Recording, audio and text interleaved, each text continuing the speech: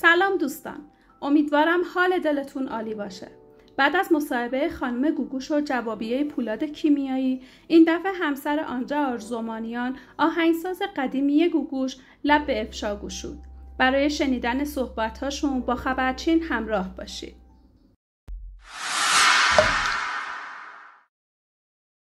آندره آرزومانیان یکی از آهنگسازان مطرح کشورمون بودن که قبل از انقلاب با گوگوش همکاری زیادی داشتن. ایشون موسیقیدان، آهنگساز و نوازنده پیانو چیر دست بودن.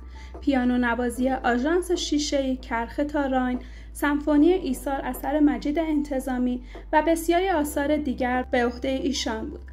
ایشان در سال 1389 به دلیل ابتلا به سرطان مغز استخوان در سن 56 سالگی در تهران درگذشت. شهر دولت آبادی همسر آنجا آرزومانیان سکوت خودش رو میشکنه و حقایقی رو میگه. ایشون میگه خانم گوگوش در مصاحبهشون با خانم هما سرشار در مورد رفتن از ایران گفته بودن که من در مورد کنسرت هیچ خبری نداشتم و شاید مسعود کیمیایی بداند. همانطور که پولاد در ویدیوش گفت اصلا همچین چیزی نبود. از یک سال قبل خانم آتشی می‌دانستند که در اروپا کنسرت دارن.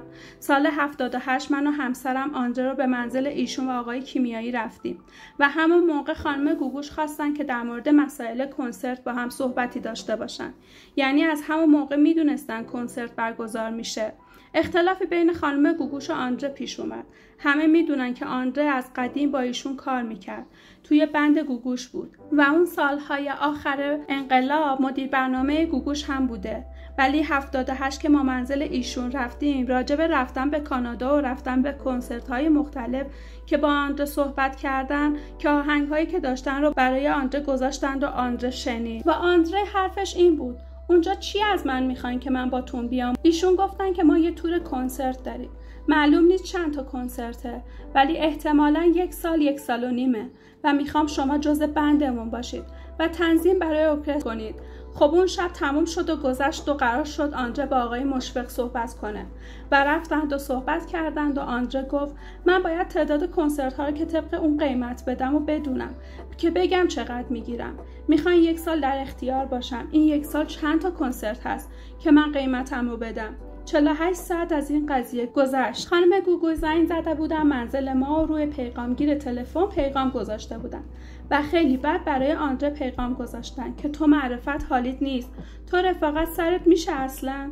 تو دوست قدیمی من بودی. حالا تو این شرایط حرف پول می‌زنی و حرف از تعداد کنسرت می‌زنی.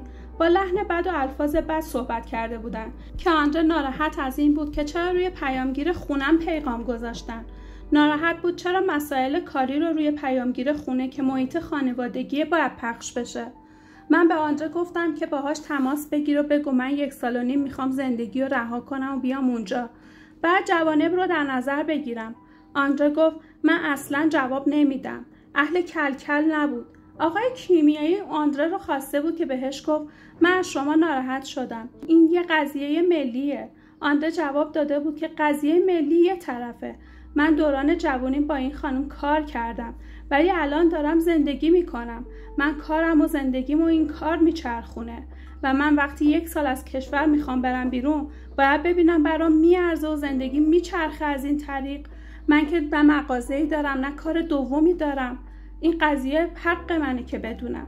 بعد از اون بابک امینی به آندره گفت که بیا بریم. آندره به بابک گفت از من گذشته تو برو. امیدوارم شرایط خوبی برات پیش بیاد و بتونی به خوبی باهاش کار کنی که بعدش کات شد و قضیه تموم شد. پولاد کیمیایی درست گفته و می‌دونسته که ایشون خانم گوگوش برای کنسرت دارن میرن و دروغ در این مصاحبه زیاد گفته شده. من سخنگوی آندره نیستم من زبون آندره نیستم. ولی چون دستش از دنیا کوتاه شده گفتم بیام و در موردش صحبت کنم. خب دوستان اینم از یه ویدیوی دیگه از خبرچین. ولی خودمونیم. یه مصاحبه و اینقدر جوابیه و به اصطلاح خودشون دروغ. آخه به چه ارزشی؟ به چه قیمتی؟ نظرتون رو برام بنویسید. اگه دوست داشتید سابسکرایبم فراموشتون نشه. در پناه حق. اینجام اگر صحبتی می‌کنم هم به خاطر حق به حق دار رسیدن طرفداری از احدی نیست.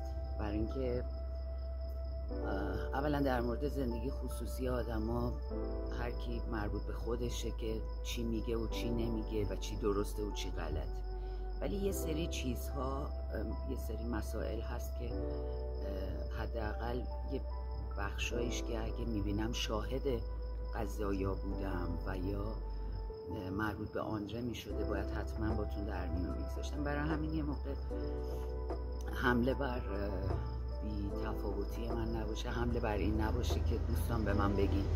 حالا این توی شرایط این مسائل چه گفتنی داره سرگرم شدن کاملا هم بهتون حق میده قضیه از این قراره خانم گوگوش توی مصاحبهشون راجع به اومدنشون رفتنشون از ایران گفته بودن و گفته بودن که من در مورد کنسرت خبری ندارم.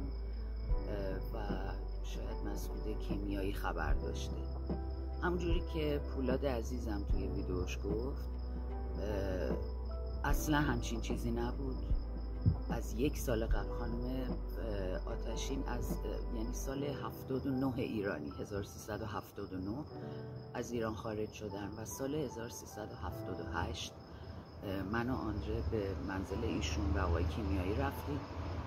و همون موقع اصلا آندره رو خانم گوگوش خواست که راجبه مسائل کنسرت با هم صحبتی داشته باشن.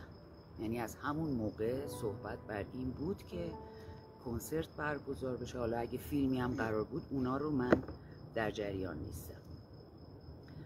اختلافی بین خانم گوگوش و آندره پیش اومد. خب خیلی از شما می‌دونید آندره از قدیم با این خانم کار می‌کرد.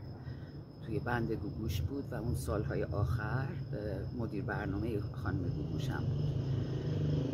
ولی سال 78 که ما منزل ایشون رفتیم راجع به رفتن ایشون به کانادا صحبت برای کنسرت های مختلف بود که با آندره صحبت کردن آهنگ و شعرهایی که داشتن رو برای آندره گذاشتن آندره شنید. و آندره حرفش این بود که اونجا چی از من می‌خواین؟ اگه می‌خواین باتون بیام. و ایشون گفتن که آره ما یه تور کنسرت داریم. معلوم نیست چند تا کنسرته ولی احتمالا یک سال یک سال و نیمه. و می‌خوام شما جزو بندمون باشی و اینکه تنظیم برای ارکستر کنی. خب اون شب تمام شد و گذشت تا اینکه آندره قرار شد با آقای مشفق صحبت کنه. و رفتن و صحبت کردن و آندره برگشت گفتش که من آخه باید تعداد کنسرت ها رو بدونم که طبق اون قیمت بدم.